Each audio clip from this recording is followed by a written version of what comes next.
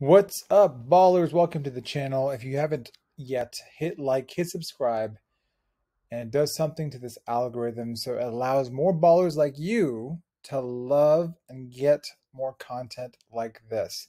So let's talk about today's topic. Today's topic is going to be about when is it the right time to get back into your sport and fully begin to perform athletically. Okay, when is it the true right time to perform athletically in your sport and everything that it requires from you? Now, this is going to apply to every bit of athletics that is out there. Basketball is just something that we advertise towards, but it's we work with every kind of athlete. Okay, so take into consideration that you're an athlete of some sort. Okay, and if you're an athlete of some sort, then typically you got a couple skills you have to do. You have to, you have to be able to run for the most part. Okay. You got to be able to jump. You have to be able to change direction. Okay.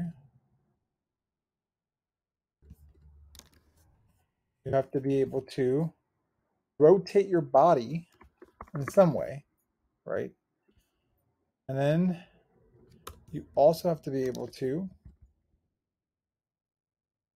throw, arm overhead, pull, push,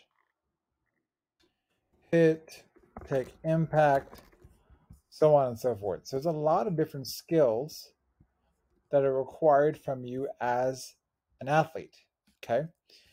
And this applies to most sports. So these are the athletic things you're doing. Now, if you play basketball, you're playing defense, you're playing football, whatever it is, you're having to get low into a low position, athletic stance, and then change direction. You have to go from low position to a, to a sprint to stopping on a dime to all these different skills that you have to do all at once. And as such, after you have incurred something like an injury, Now, you have to understand first, before we start thinking about, oh, when can I get back to my sport? How fast can I get back to my sport? We have to consider how did this injury even happen in the first place? Okay, how did it start? Now, most often than not, you can trace it back to the first injury you ever had. So, say for example, you had some sort of ankle injury. You had the ankle injury, but that ankle injury then led you to have compensations. Okay, so you know you started to compensate with your other ankle, or you started to compensate with some other joint or your other other part of your body, your left side of your body. And then you did physical therapy, but the movements were so low grade. Okay, so they were low grade exercises. If you consider what you're doing here, these are very high grade, high impact movements that you're applying on the body. So imagine you had an ankle injury, and then if you don't do the adequate amount of work to prepare yourself for this high grade movement, it is very easy for you to re injure yourself. Okay, it is very easy to do this. Doesn't take very much. Okay, say you do your Theragun, you are stretching, and then you get back into strength training, but even strength training can be looked at as a high grade movement. Just think about it.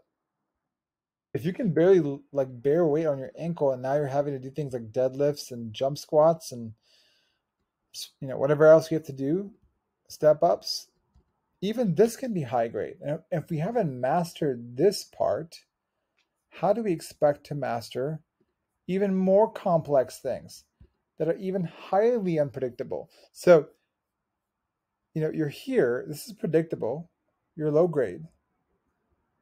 You sort of progress into more predictable, more advanced stuff that goes more and more unpredictable. But then all of a sudden, we jump right back into something we're not ready for. So let's talk about that, right? So you you go from this low grade stuff to all of a sudden going into high grade movement.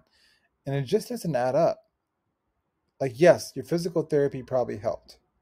This is not to take away from what your physical therapy did, by all means. We, we've even had conversations with a few of you that have said, no, but physical therapy helped. But if it truly helped, then we wouldn't be re injured. Okay? We wouldn't have done all this work. And then, by way of doing all this work, we jump too fast too soon. Jump back into sport. And then guess what? We are back to the injury we started with. Okay? We are back to the injury we began with in the first place. Okay? Now, this is a problem. We see this all the time. And the problem, if you notice this, like people do the physical therapy, do the chiropractor. I mean, I can insert, you can replace this with chiropractor guys. Chiro, you can replace this with um, osteopath. Uh, you can replace it with some sort of functional training. You can replace it with compression wraps, icing, cryotherapy. It, you know, just insert it with something. Anything that you have tried for a little while. And then this is what constantly happens. They do all this. They jump back into sport. They don't know if they're truly ready. They just do it, they're thinking they are. And guess what happens? They go back to the injury. If anything, they incur another injury, a secondary to the first injury. So if it was the ankle, maybe now it's the knee. Maybe they sprained their LCL. And just like that, they are back in the same game. Okay?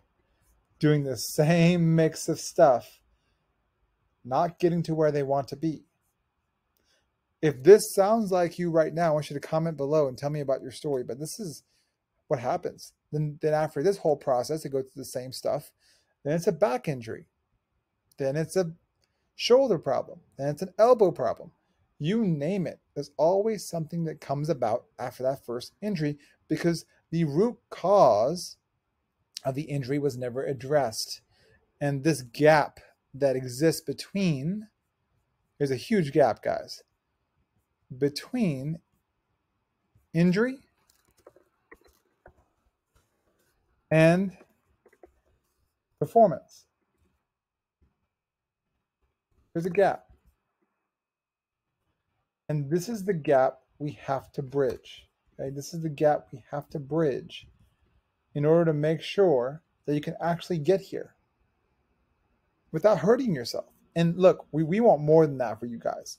You get there and you can consistently do these things that actually make you an athlete without hurting yourself. There's a direct correlation from here to here. Direct correlation. They are not separate, guys. Your ability to be pain free is directly correlated to your ability to perform. If anything, that is the most important thing. You don't want this. Because if this is happening, the root cause is most likely that you had poor mechanics somewhere in your body while you were doing these movements. Okay? And those poor mechanics in your body compounded over time. It didn't just magically happen, it wasn't a freak accident.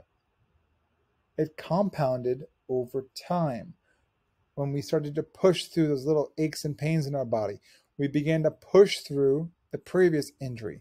We began to push through practice just willing it without understanding what needs to fire, what needs to engage, how are we supposed to feel in an athletic stance when we jump, when we land, when we run, when we change direction, when we rotate, when we throw, when we throw arms overhead, when we pull, push, and even when we do our strength training, what are we supposed to feel here?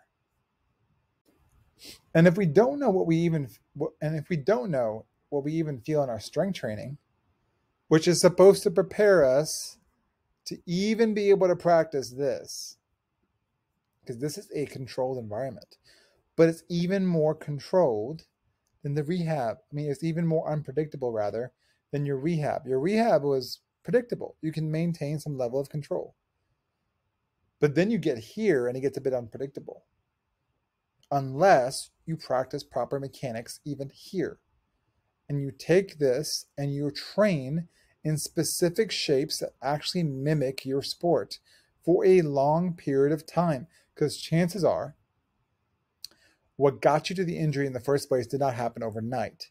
It took a couple of years. If you've been playing your sport or doing your sport for, I don't know, five years, six years, seven years, eight years, nine years, 10 years, and then all of a sudden we're expecting physical therapy or some injection or steroid shot, steroid shot or some wrap or some icing to magically get us out of there within two or three months and back on the court after 10, 11, 12 years of poor mechanics, that just doesn't make any sense.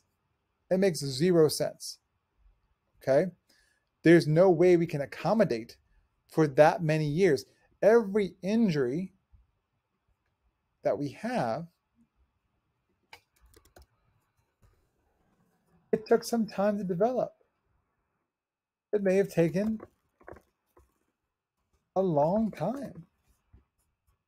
And that means our process get from injury back to elite athletic performance and resilient performance, meaning you do this for as long as you want, as long as your career can take you. If this is what you truly want, okay, this is the ultimate thing you want, not just the fleeting emotion of, I got to play now, I got to play now. No. If you want this, guys, then we have to take, a, take into consideration how long it took for us to incur the injury. Poor mechanics happen over time. That means they have to be corrected how? Over time. You have to correct them slowly, systematically. And at minimum, team, at minimum, start with a year of rewiring your mechanics before you jump back into your sport. Yes, it sounds crazy, but I'm being honest and I'm being real with you. Not many doctors, not many physical therapists, not many chiropractors will tell you this. They'll say, oh, yeah, you're ready, go back because they're trying to appease your emotions. But I'm not here to be your friend. I'm here to tell you the truth. Okay? And the truth is, you're going to need some time. You're going to need some time to understand a couple things. Okay? You have to understand what your weaknesses are. You have to understand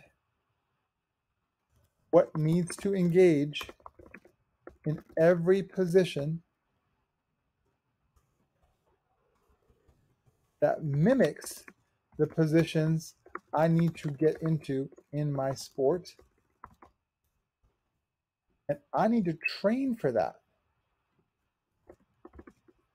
For that in a systematic way. Okay? And before you do any of that, the first month, first two two months, get you out of pain signaling get blood flow, get range of motion back, get control, get stability. That's like the first two, three months, even the first four months. Then we have to take that concept, take it further, understand what needs to engage in every position that mimics mimics the positions that you need to get into in your sport. So for a hesitation dribble, what needs to fire when you step your foot back? When you get low on defense, what needs to fire? when you need to cross someone up, stop on a dime, when you're sprinting, when you're jogging, when you're jumping, when you're rotating, when you're throwing your arms overhead, when you're pulling, what needs to engage? And then train for that in every position first in a controlled way. Train in a controlled and predictable manner first. Okay? Then you train progressively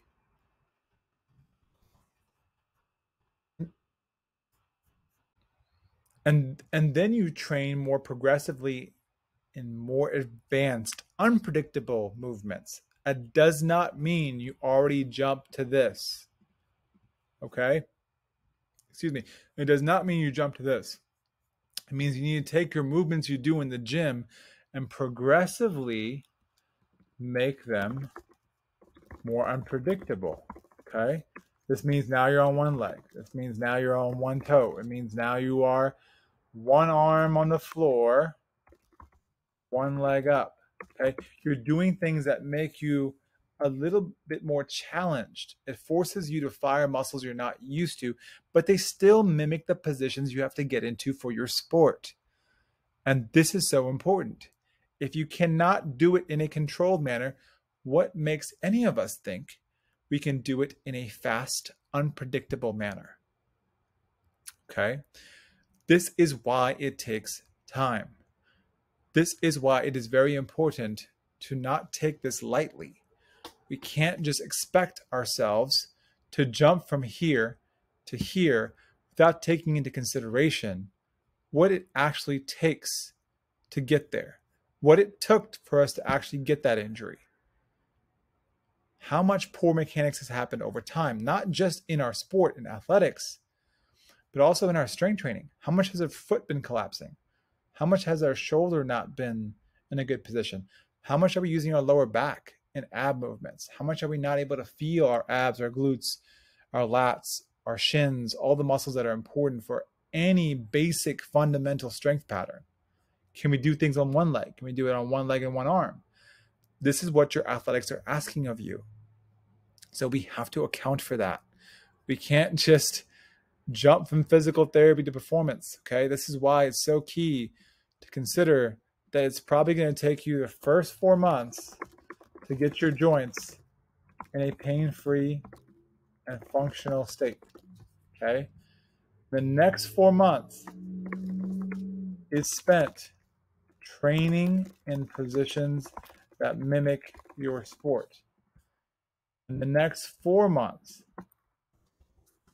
spent rewiring all athletic movement mechanics it means how to get low, how to change direction, how to slide your feet with proper engagement, with what to feel specifically at every moment in time.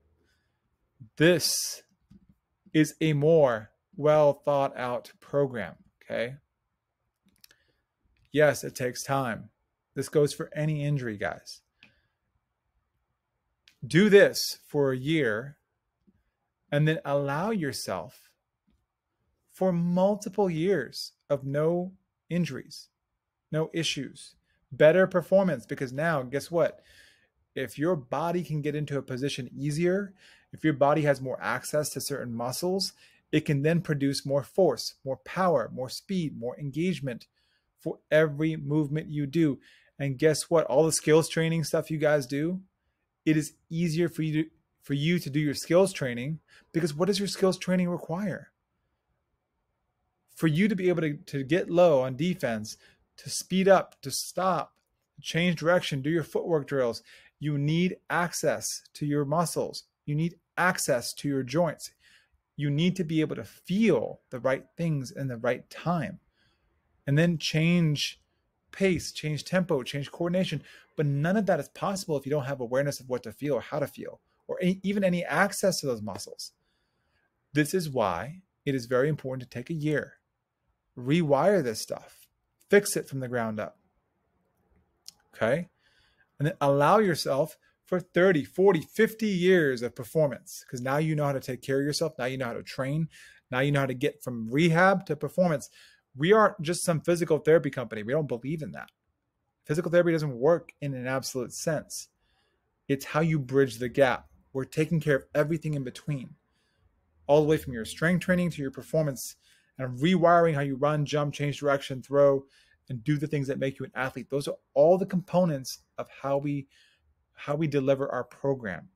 And this is why it's so important that we that you don't think of this as physical therapy because it's not. Not even close. Okay? So, if you have an injury right now, dealing with pain, don't get bent out of shape trying to get back to your sport too fast too soon. Yeah, don't get too bent out of shape trying to get back to your sport too fast, too soon. I know and I acknowledge how hard this is emotionally on you.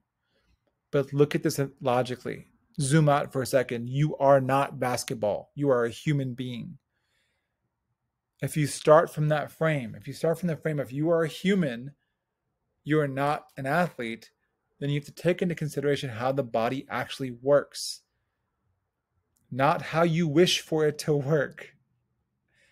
That is so important. You are human above all else.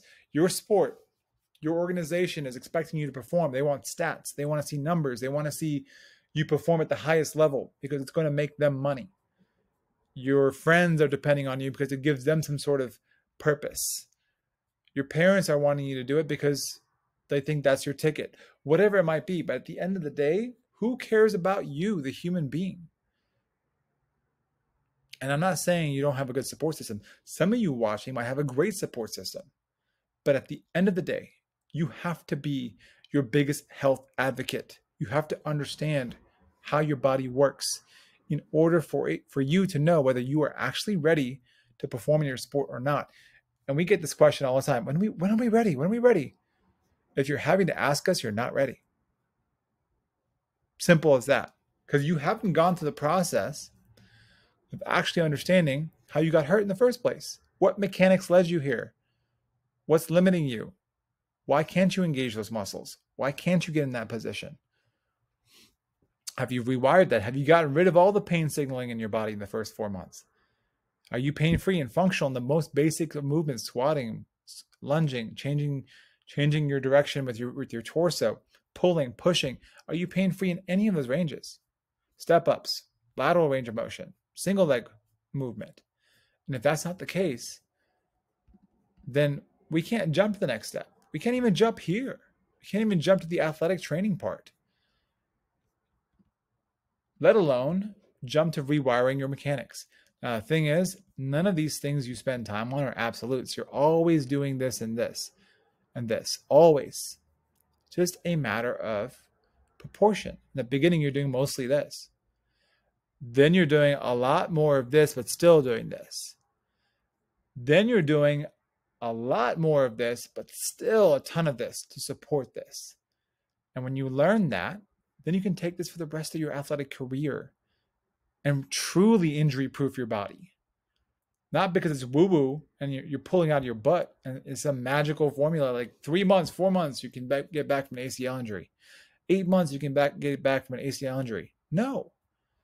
It's because you are actually in the game. Your skin's in the game. You know what you're supposed to feel. You know you can't get into a basic position with your knee bent and you're sitting into one leg whenever you're doing some sort of pistol squat or some sort of low position. So how do you expect to jump or cut or change direction, you can see the translation and you understand that yourself as an athlete. And that's what we have to learn, team. Okay? So if this makes sense to you, if this resonates with you, then make sure you comment below. And if you're being pressured right now by your parents to jump back in or your coach to jump back in, chances are they don't know themselves. What's the truth about the human body? But you have to take a stand for your own self, for your own body, before you let someone else dictate how you're going to live the rest of your life. Because this could be the difference between a long lasting career that's successful and one that gets cut short constantly because you jump too fast too soon, you get re injured, you get secondary injuries, tertiary injuries, other injuries, and it keeps compounding over time. So instead of this, you can go through a year process and rewire your entire body. So you can have 40 years, 50 years of performance without pain and injury versus the back and forth for six to seven years. And then your career is done. Okay. That's what we're here for. So if you need help with this, click the link below. You can book a time with one of us and we'll show you exactly what you need over the next 12 months. We'll build a plan for you. We'll map out a plan. And if you're ready to commit financially, commit with your time into this process, for the rest of your life. Just think about what that's worth worth to you. And if it's worth a lot, look, we're here to support you. We're here for you. And we're happy to support you to the rest of your life. Peace.